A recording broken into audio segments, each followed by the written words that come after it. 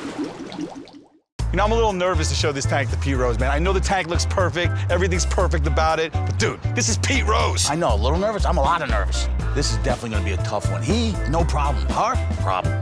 Pete, Kiana, come on in. Look at that thing. Look at that thing. That is My amazing. Riverfront Stadium. It's unbelievable. There's so many great memories there. So many. The journal had nothing to do with this, did he? He did a little bit. We're both over 70. You got to quit heckling. Uh, I didn't get there yet, sir. Oh, okay. I apologize. We wanted to give you the outfield perspective, so it looks like you're looking in from the outfield. What would your career be without the fans? I probably know half the people in them stands right there. You probably do. Every stadium has the blimp going over it, and there it is, cruising right over the stadium. it looks so real. I mean, it looks like it's going on right now. These fish are so beautiful.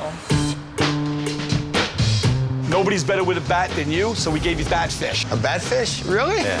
Shut up. It is. We also have the raccoon butterflies in there, and you see they have a black mask over their eyes. yeah.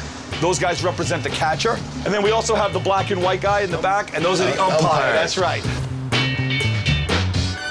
The trickiest thing was, is honestly, was making you happy. So, Kiana, what do you think?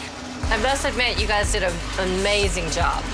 I love it. Looks right out here where I can sit down and enjoy it. No better feel than having an outdoor stadium, right, Pete? Right there it is. Hold on. You don't smell nothing, do you? No. See, fish don't No smell. fish. See? You guys knocked it out of the ballpark. Yes. You know what? I'm really proud to do this. This is an honor to build the tank for Pete Rose. He's one of the greatest baseball players of all time. Dude, I think we scored a touchdown with this tank. Bro, touchdowns football. This is a grand slam. Grand Slam, I thought that was a breakfast. Oh my God.